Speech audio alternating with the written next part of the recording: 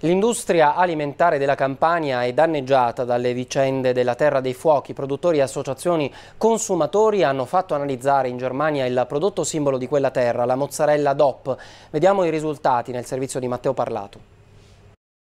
Noi con questo eh, programma che abbiamo lanciato eh, in collaborazione con le associazioni dei consumatori abbiamo dimostrato che non esiste un solo dato analitico che dimostri che il nostro prodotto non è sano eh, pensate che in termini per esempio di diossina il nostro prodotto contiene, eh, cioè il, il, risultato più elevato che abbiamo ottenuto è di 10 volte più basso rispetto al limite previsto in Italia e in Europa.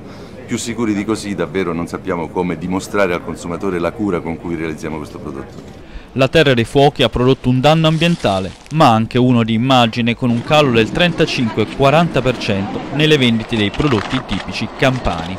Il consorzio della mozzarella e le maggiori associazioni dei consumatori si sono unite per rispondere ai timori dei consumatori e a Roma, Milano e Napoli sono state comprate mozzarelle DOP in modo casuale, poi inviate in Germania per farli analizzare e dopo tre settimane sono arrivati questi risultati. L'alleanza tra produttori e consumatori continuerà. Per noi questo è un punto di partenza, vogliamo continuare con le associazioni dei consumatori a dimostrare, cioè ad avere un, un dialogo stretto con il mercato. Una raccomandazione per i consumatori, mai comprare mozzarelle sfuse a meno che non vengano dagli spacci dei caseifici, da dove devono comunque uscire confezionate con tutti i dati prescritti per legge.